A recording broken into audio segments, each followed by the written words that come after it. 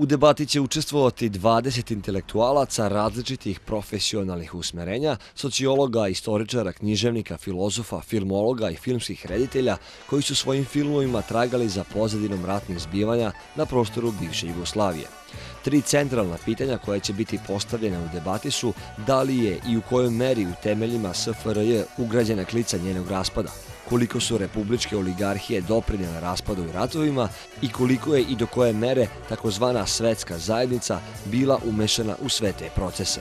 Cilj je ovog okruglog stola da, s obzirom da se navršava 20 godina od početka rastakanja bivše Jugoslavije, okupimo dvadesetak ozbiljnih intelektualaca sa prostora bivše Jugoslavije, dakle intelektualaca koji su, bez obzira koliko to profano danas zvuči kad kažemo nezavisni intelektualci, ali to zaista jesu u pravom smislu nezavisni intelektualci, jer u, svom, u svojim razmišljenjima, u, u, u svojim tekstovima i tako dalje i tako dalje, nikada nisu ponavljali mantre e, svojih nacionalnih oligarhija, niti ono što je, ajde kažem, stavovi svetske, e, svetske zajednice.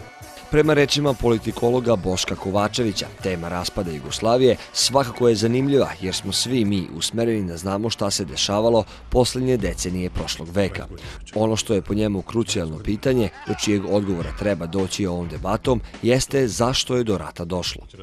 To je jedan susret uh, umetnika, stvaralaca, tako, s jedne strane tu filmsku poetiku i s druge strane imamo ljude iz društvenih nauka koji imaju jednu strogu naučnu aparaturu i metodologiju i sa to ukrstiti naprosto ta dva viđenja ukrstiti to može biti zanimljivo.